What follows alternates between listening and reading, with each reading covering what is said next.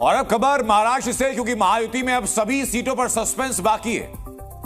BJP ने निन्यानवे उम्मीदवार घोषित कर दिए हैं। शिवसेना शिंदे ने 45 टिकट बांटे हैं।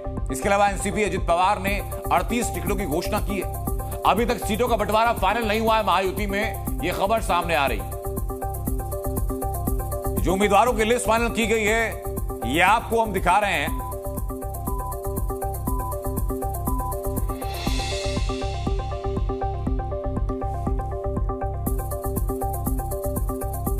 ये आपको दिखा रहे हैं कि किसने कितने उम्मीदवारों की घोषणा की है।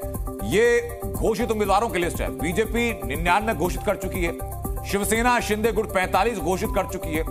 एनसीपी अजित पवार की तरफ़ से 38 उम्मीदवार घोषित कर, दिए गए हैं। ये अभी तक का फॉर्मूला है जो सामने आ रहा है। लेकिन अभी भी कुछ सीटें संभावित ऐसी बताई जा रही हैं जिसमें की चीज़ें बदल सकती महायुति का मौजूदा नंबर क्या है उम्मीदवारों को लेकर के विधायकों की जो सीट है? बीजेपी के पास 105 का नंबर।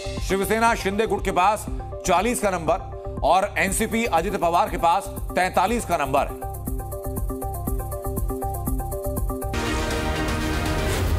Z News.